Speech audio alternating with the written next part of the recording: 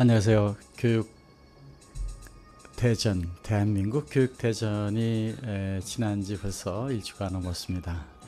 아, 그동안 여러 어, 뉴스들, 새로운 어, 기술들을 가진 많은 어, 국내 비대면 어, 교육기관 또 어, 교육 종사자들과 어, 다양한 형태의 이야기를 나누면서 저희는 이번 어, 첫 교육 대전은 어, 그동안 코로나로 인한 첫 번째 에, 오프라인 에, 공간이 형성되면서 다름에서 여기 있는 것처럼 이제 커다란 부스, 이 앞면이 이렇게 된 부스가 있었고 저 뒤에는 더큰 어, 공간에 여러 가지들을 제공하는 어, 그러한 의미 있는 공간이 되었습니다. 아, 비록 코로나로 여러 가지 어려움이 있었지만 아, 정말 많은 교육 관련 종사자들, 학교 또 기관들에서 오시면서 어, 다림의 새로운 비대면 강의 시스템, 대면으로 하는 강의, 교실 강의에서 이제는 비대면 어, 시간과 공간을 초월하는 그러한 에, 그 교육 환경이 에, 우리가 모르는 사이에 차가와서 지금 무려 30만이 넘는 많은 분들께서 그러한 교육 환경에 접목이 되는 그러한 시간을 갖게 된 데서 다리면 특별히 의미가 있는 시간이었다 저는 이렇게 생각합니다. 아, 우선 여기 저는 이제 스튜디오를 조금 더 이렇게 다양하게 꾸며봤는데 이것은 뭐 금방 할 수 있는 것입니다. 아, 이 뒤에다가 저런 스튜디오 그림을 넣고 배경에 약간의 그 흐름이 들어가게 해서 느낌을 주면서 자막을 주고 어, 또 지금은 어, 특별히 두면 이제 원격지에 있는 사람과 어, 현장에 있는 사람이 같이 강의를 한다. 이번에 특별히 교육대전에서는 어, 해외에 있는 분들이 많이 있었는데 사회자와 또 해외에 있는 분이 같이 앉아서 파워포인트를 할 수 있는 어, 이러한 비대면 원격 강의 시스템도 개발해서 출시를 했기 때문에 거기에 대한 내용에 이 감각을 주기 위해서 두 명의 강사가 앉아서 강의를 하면 어떻게 될까? 한국 교수와 미국 교수가 함께 대학에 수업을 하면 어떻게 될까? 아, 이러한 아, 방식들을 쉽게 설명하는 그래서 비대면 학생이 있는 학생들과 대면으로 하는 학생들이 보일 수 있는 공간을 마련하기 위해서 저는 아, 이 공간에 이제 이렇게 그 대면 학생 제 방이죠 대면 학생들과 비대면 학생이 같이 있는 공간에서 하고 거기에 이번에 특별히 전시에서 보였던 아, 이러한 그 어, 어, 장면을 보이면서 설명을 드리고자 하는 것입니다. 여러분 여기 지금 그 어, 에듀콘 현장을 보여주고 있는 이거는 어, 사실은 상당히 중요한 의미를 가지고 있는데 어, 예를 들면은 어, 여기에 지금 그 이 선생님께 설명할 때는 이 장면이 크게 여기 나오고 있지 않습니까? 아, 이렇게 보이고 현장에 이런 LED에 보이는 이 화면 그대로가 이제 스마트폰에 보였고 또 이렇게 저는 교실이 이제 더 이상 공간만이 아니라 그 이런 데서 다양하게 보일 수 있다는 의미에서 여기 이제 음악을 제가 소리를 조금 더 줄여보겠습니다만은 어, 이러한 공간에서 그 보이는 에, 에, 소위 그 헬리콥터 시뮬레이터를 타고 가상 공간에 가는 것도 교실이다. 또 교실에서 강의하는 것은 스마트 공간에 나가는 교실이 돼야 된다. 교실은 이렇게 칠판이 이제는 비대면 대면이 보이는 또 벽 전체가 스크린이 되는 교실이 돼야 된다 하는 의미에서 어 여러 가지 예, 새로운 방식의 예, 솔루션을 보였고 특히 이렇게 한평 스튜디오라고 하는 아주 작은 공간에 방송국을 넣어서 어, 전 세계 공간은 작지만 아주 많은 곳에도 보일 수 있다 이런 것들을 보여주는 기술도 개발했고 또 이동식으로 방송을 다실 수 없으니까 들고 다니면서 교실이나 어디 행사장에서 방송을 할 수 있는 것까지 포함해서 어, 다양한 것들을 에, 선을 보인 바가 있습니다. 여러분 이렇게 그 어, 여러 가지 형태의 그 강의를 보이면서 저는 강의 방식과 문화와 방송이 완전히 새롭게 변해갈 수 있다 하는 의미에서 이번에 몇 가지의 제품에 대한 설명이 드려보겠습니다. 저는 이번에 이렇게 그 스마트 강당, 큰 공간에서 하는 강의, 또 스마트 교실, 교실에서 하는 강의와 밖에서 하는 강의가 같이 되게 하기 위해서 여기 그냥 강사 선생님이 이 포인터만 가지면 이 포인터만 가지면은 어, 여기서 이 pointing을 하면서 강의하고 그 옆에 화면에는 비대면 학생이 같이 보이는 그러한 공간을 아, 만드는 아, 그런 문화를 보여드린 바가 있습니다. 아, 이렇게 그 대면 학생, 비대면 학생이 같이 있는 교실, 그것이 가상 공간에서 지금 예를 들면 제가 이렇게 그큰 어, 교실 가상 공간을 만들었다면 여기에 원격지 학생, 선생, 원격지 교수 누구든지 이렇게 장면을 자유롭게 배치할 수 있는 이 강의실 저작 도구와 그 안에 칠판이 이제는 파워포인트 칠판만이 아니라 비대면 학생과 대면 학생이 같이 보이는 교실. 그래서 선생님을 볼 때는 파워포인트 이렇게 하면 그쪽이 보이게 돼서 그 화면을 보게 돼서 학생들이 마치 교실에서 이 칠판을 보느냐 저 칠판을 보느냐 하는 것을 어, 판단하지 않고 선생님이 보여주고 싶은 장면이 스마트폰에 나옴으로써 그것을 보는 학생들은 자연히 그 내용을 어, 화면만 보게 되면 된다 하는 자동 트래킹 기술 어, 특허 방식을 여러분에게 선보인 것입니다.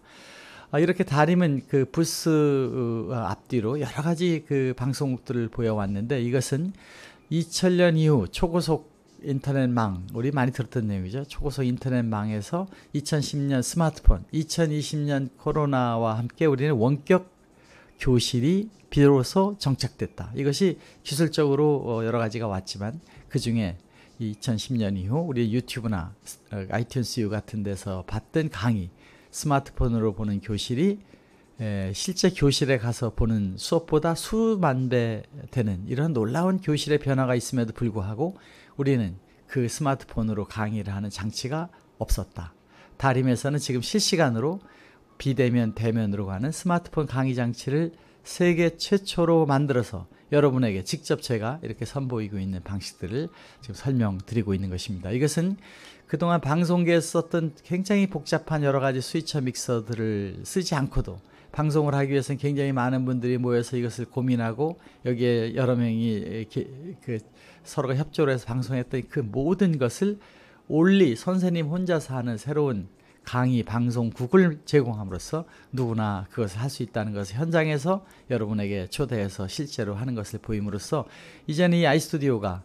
비대면 학생들, 중계차가 있어야 했던 현지 중계, 실시간 중계와 또 그것을 통해서 유튜브, 어, 구글 이런 것을 통해서 방송과 화상에게 동시에 되는 올인원 비대면 방송국도 못하던 비대면 원격 수업 강의 환경이 우리는 놀랍게도 유튜브, 페이스북, 줌, 또 다림에서 이번에 announce하는 아이스튜디오 미트 등을 통해서 만들어지게 된 것입니다. 여러분 이런 그 교실 환경, 교실에 오면 학생과 또 떨어진 학생이 보이는 이 두 개의 스크린을 기본으로 하고 파워포인트 환경을 넣어서 지금 제가 쓰고 있는 이 아이스튜디오 5000 좀 더 다양하게 방송국보다 더 방송국다운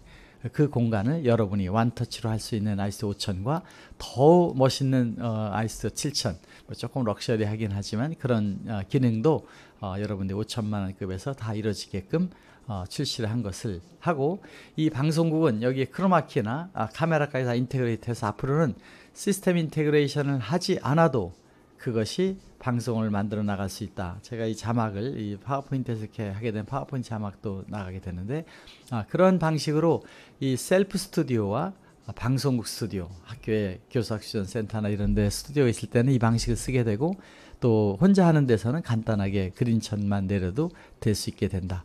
이것을 그 교실 안에서 쓸 수 있는 강의 장치 특허를 내므로써 저희는 선생님들이 전혀 어, 장비에 대한 고민을 하지 않고 이 포인터만 가지고 수업을 할 수 있게끔 하는 방송 기술을 넣고 그 안에 아주 멋진 한 편의 강의를 하더라도 그것이 천만 원, 이천만 원짜리 가치가 있는 컨텐츠가 실시간으로 만들어지고 우리가 KBS, MBC 방송을 스마트폰으로 보는 학생들이 선생님 강의도 그것 이상의 더 낮게 볼 수 있도록 만들므로써 이제는 학교가 어떤 전문적인 방송보다 더 우수한 강의를 할 수 있게 하겠다 해서 전문가용과 일반용 고급형으로 해서 아주 저렴한 300과 400 그리고 조금 전문가용 지금 제가 쓰고 있는 전문가용과 또 방송국에서 쓰고 있는 장비들을 교실 안에 스크린이 이제는 방송 시장 방송 스크린이 되고 이 스크린이 전 세계로 나가고 이 스크린이 줌으로 양방향이 전달됨으로써 우리는 방송의 문화가 이제는 지상파나 케이블 방송이나 위성 방송보다 더 막강한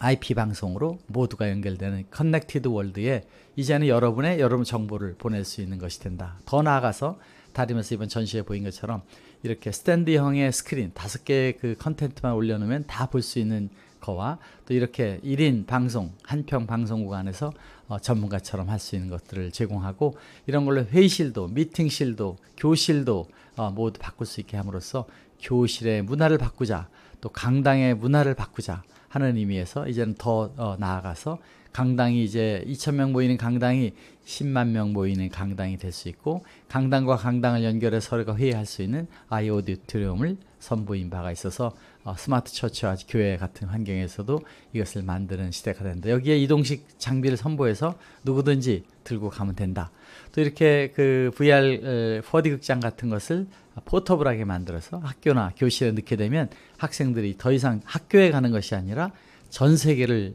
바라볼 수 있는 그런 공간이 되는 새로운 교실 문화를 만들기 위한 아, 솔루션들을 제공한 것입니다. 여러분 여기에 보인 이, 이 간단한 장비들은 아, 굉장히 많은 아, 사람들이 신나게 볼 수 있는 그런 것들을 제공하고 그랬는데 아, 소리가 좀 커서 다음 장으로 넘어가도록 하겠습니다. 자 이렇게 우리가 보이는 문화는 앞으로 교실의 에, 그 컨셉을 바꿔서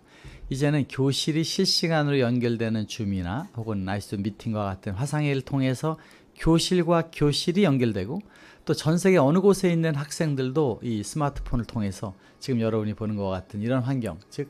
교실 안에 가면 멋진 교실 스튜디오와 거기에 학생들 비대면 학생과 대면 학생과 그 다음에 파워포인트 스크린이 있는 칠판이 있는 새로운 다림의 아이스 표준을 쓰게 되면 멋진 방송국을 여러분들이 실시간으로 교실 안에서 보게 되고 그 강의 그대로가 프로젝터에 나오고 그 프로젝터가 각 교실마다 가는 아 그리고 그것이 녹화돼서 다시 무들이나 LMS를 통해서 교실이 클라우드 상에 만들어지게 되는 그러한 어, 완벽한 솔루션을 다림에서 제공하게 된 것입니다.